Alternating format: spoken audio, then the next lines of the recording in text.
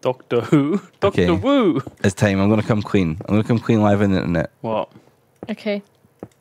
Jurassic Never Park seen Jurassic Park. is one of those movies that when people ask me about it, I've always pretended that I've seen, but I've never seen.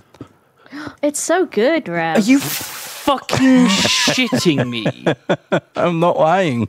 How? Oh two creepers. Why? How is that possible? It just is. All right, the mob griefing worked. Uh, it's really good, Ravs, because it feels like a. It feels scary, even though it's. I like- am fucking shocked. Bombshell. I'm adopted. No, Oh I'm my god. Yeah. You've Yeah. got to watch it, man. I just, you know what? I saw a little bit of one once, and I was like, "That's kind of cool, I guess," or whatever. And then like, I'd never bothered watching anymore. It's so good. It's like you watch it and you're like, okay, I know the dinosaurs aren't real and they're animatronics, but they still are scary. Like you still have a sense of dread and my stuff. So when you just named my character there, I was like, "All right, uh, guess I'm that guy."